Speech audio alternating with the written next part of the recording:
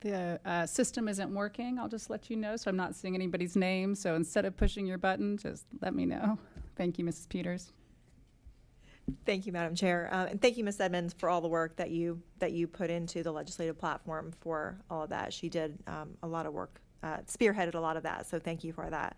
Um, I actually wanted to tag on to what Ms. Cook said. Um, We always want to hear what you have to say, but so much of what we do as school board members is vote policies into place that the state has told us we have to vote into place. The state makes the laws, we just put them into, into our policy and practice.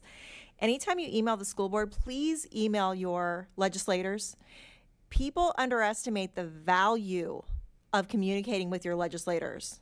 I don't know if you all, a great example is what just happened with our state parks.